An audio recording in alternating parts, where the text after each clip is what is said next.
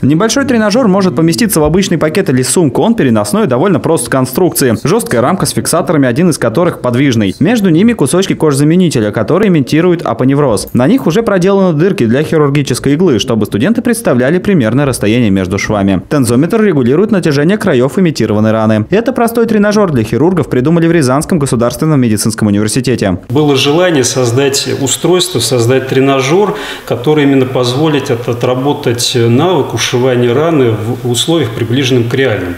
То есть, условно, вот э, те функции, да, которые э, имеются у данного тренажера, да, они как раз вот позволяют выполнить Э, все манипуляции с определенными трудностями. Александр Инютин – один из изобретателей. Он рассказал, что большая проблема возникает с послеоперационными грыжами. Нередки случаи, когда пациентов приходится оперировать повторно. Этот факт и мотивировал его к разработке нового направления работы на кафедре профилактики послеоперационных грыж. Они разработали и запатентовали несколько новых техник и тренажеров, к которым относится и этот. И уже успешно обучают при помощи него студентов. Мы провели обучение и ординаторов, и студентов, и в том числе проводилось началось обучение врачей как раз-таки новым, новым способом ушивания, то есть, о которых еще никто не знает.